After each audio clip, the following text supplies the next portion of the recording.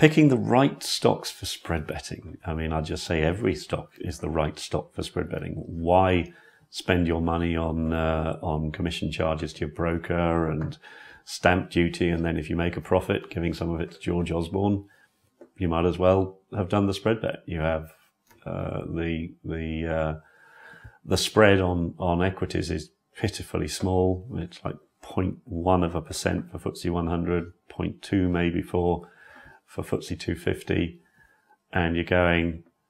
You know, stamp duty is half a percent, so you're already down. Then you also also got the broking commission that you have to pay, and um, so and if you did happen to make a profit, it's all tax free.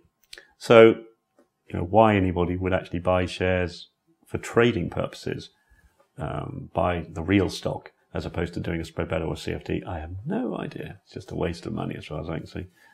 But the, the, the, real problem is, is that, is that people tend to gear themselves up when they use, when they spread bet stocks. So whereas they're, they're buying shares, they buy a thousand shares. When they do spread betting, they, they start gearing themselves up, which gets dangerous. So rolling daily contracts versus future contracts, which is best and in which circumstance? Um, rolling daily is definitely best if you're trading, if you're holding the position less than a couple of weeks or three weeks, something like that. You, you, you can do the, you can do the mathematics. It's not, it's not, it's not rocket science.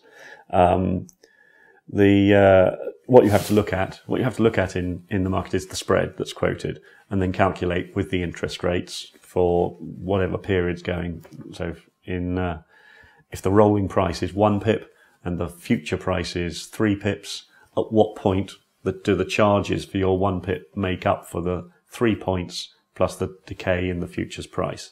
So in reality, uh, we always used to work it out as being around two to three weeks, but it might have changed now.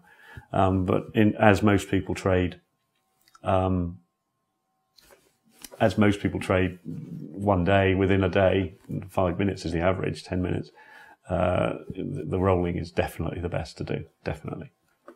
But if you want to hold the position for a very long time, then it's the futures. Always stick with the futures.